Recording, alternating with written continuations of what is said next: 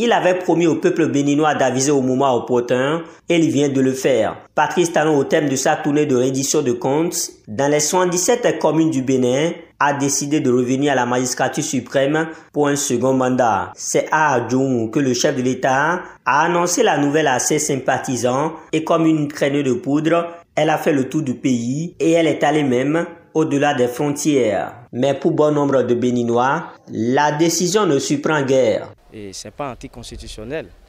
Euh, le souhait, c'est que euh, peut-être euh, dans son second mandat, qu'il soit un peu plus social. Et ce serait vraiment bien.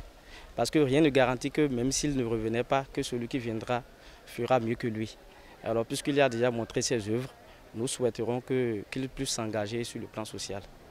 Il a apporté, c'est un pour dire qu'il voulait faire 5 ans, mais cela aussi, il ne fallait pas dire cela normalement dans les normes. Il ne fallait pas dire parce qu'il ne sait pas le temps qui est, qui est prévu dans les 5 ans ne le permettait pas. Lui-même n'avait pas de vision c'était sa vision, mais ça ne pouvait pas l'arranger d'atteindre ses objectifs. Quelques jours après l'annonce de sa candidature pour sa propre réélection, le président de la République n'a pas perdu du temps pour choisir sa coulisse Au départ, un peu moins d'une dizaine de noms ont été avancés, mais au final, les tractations n'ont pas porté leurs fruits et le chef de l'État a pris ses responsabilités en portant son choix sur la deuxième vice-présidente de l'Assemblée nationale à la personne de Mariam Zimé Talata. Et même si ce choix du président de la République ne fait pas encore l'unanimité, les appréciations n'en manquent pas.